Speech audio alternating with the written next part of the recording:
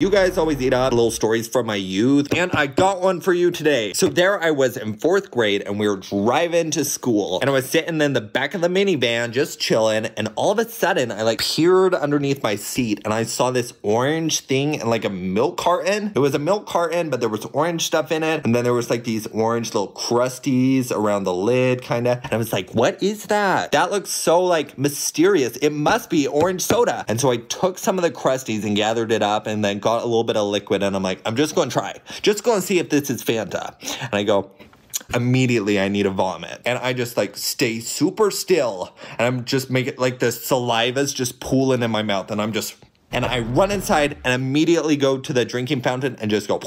I didn't throw up. That was spit. That was all that saliva just plopped in the sink. And then after school, my parents pick me up and I say, What was this underneath this seat back here? And my dad was like, That's antifreeze.